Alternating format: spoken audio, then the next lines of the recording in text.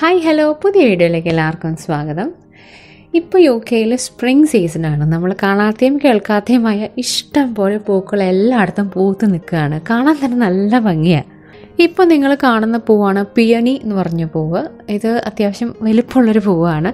ഞങ്ങൾ ഈയിടെയായിട്ട് സെൻട്രൽ ലണ്ടനിൽ പോയപ്പോൾ അവിടെ വിക്ടോറിയ എന്ന് പറഞ്ഞ സ്ട്രീറ്റിൽ ഒരു പാർക്കുണ്ട് ഈ പൂവിന് വേണ്ടി മാത്രമുള്ളൊരു പാർക്കാണ് ഇന്ന കളർന്നൊന്നുമില്ല എല്ലാ കളറിലും ഈ ഒരു പൂവുണ്ട്.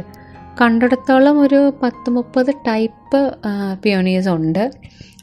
പെറ്റൽസ് കൂടുതലുള്ളതും അതുപോലെ പെറ്റൽസ് കുറവുള്ള ടൈപ്പും അപ്പോൾ മൊത്തത്തിൽ ആകെ ഒരു രസമാണിത് കാണാൻ. സോ അപ്പോൾ ഇന്ന് ഇത് ഇൻസ്പയർ ചെയ്തിട്ടുള്ള ഒരു പെയിന്റിങ്ങാണ് ഞാൻ ചെയ്യാൻ പോകുന്നത്. ഒരു ലാവൻഡർ കളർ ഷെയ്ഡിലുള്ള ഒരു പിയോണിയാണ് ഇന്നിവിടെ വരയ്ക്കാൻ പോകുന്നത്. ആക്രിലിക് പെയിന്റിംഗ് ആണ് കേട്ടോ ഞാനിവിടെ ക്യാൻവാസ് ക്ലോത്തിലാണ് പെയിന്റ് ചെയ്യുന്നത്. ആദ്യം സ്കെച്ച് ഇട്ടിട്ട് അതിന് ശേഷം ഞാനൊരു ലൈറ്റ് വയലറ്റ് ഷെയ്ഡ് വെച്ചിട്ട് ജസ്റ്റ് ഒന്ന് ഔട്ട്ലൈൻ ഇട്ട് കൊടുക്കുകയാണ്. അതുപോലെ കുറച്ച് ലീവ്സും വരച്ചിട്ടുണ്ട് അതിനും ഒരു സാപ്പ് ഗ്രീൻ ഷെയ്ഡ് വെച്ചിട്ട് ഔട്ട്ലൈൻ ചെയ്ത് കൊടുക്കുക അതിന് ശേഷം നമുക്ക് കളറിങ് സ്റ്റാർട്ട് ചെയ്യാം.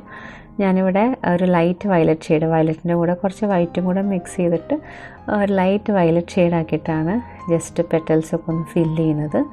ചെറിയൊരു ഷെയ്ഡിങ് എന്ന രീതിയിൽ ഡാർക്ക് വയലറ്റ് ഷെയ്ഡും ഞാൻ പെറ്റൽസിന് കൊടുക്കുന്നുണ്ട്.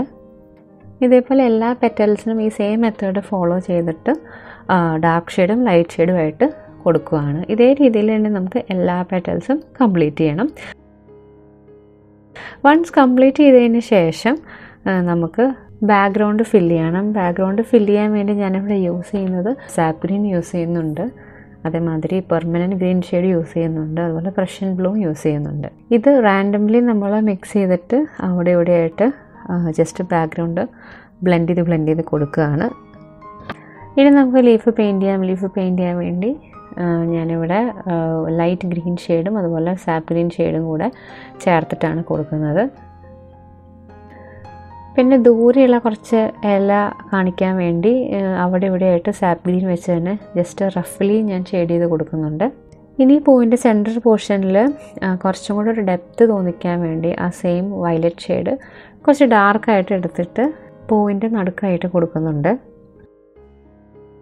അതിനുശേഷം പൂവിന്റെ സെൻട്രൽ പോർഷനിൽ ഒരു ലൈറ്റ് ബ്രൗൺ ഷെയ്ഡ് വെച്ചിട്ട് ഡീറ്റെയിലിംഗ് കൊടുക്കുന്നുണ്ട്. കാഡ്മിയം എല്ലോ യൂസ് ചെയ്തിട്ട് നമുക്ക് ആ പൂവിന്റെ നടുക്കിലുള്ള സ്റ്റേമൺ മുഴുവൻ കംപ്ലീറ്റ് ചെയ്യാം. വളരെ അട്രാക്റ്റീവ് ആയിട്ടുള്ളൊരു കളറായതുകൊണ്ടാണ് ഞാൻ ഈ ഒരു ലാവൻഡർ ഷെയ്ഡ് സെലക്ട് ചെയ്യാൻ കാര്യം. നിങ്ങൾക്ക് പെയിന്റിങ് ഇഷ്ടപ്പെട്ടിട്ടുണ്ടെങ്കിൽ നിങ്ങൾക്ക് ഏത് കളേഴ്സിലാണെങ്കിലും ട്രൈ ചെയ്ത് നോക്കാവുന്നതാണ്. അപ്പോൾ അത്രയുള്ള ഇന്നത്തെ വീഡിയോ. എല്ലാവർക്കും ഇഷ്ടപ്പെട്ടു എന്ന് വിചാരിക്കണം അപ്പോൾ നമുക്ക് നെക്സ്റ്റ് വീഡിയോയിൽ കാണാം. താങ്ക്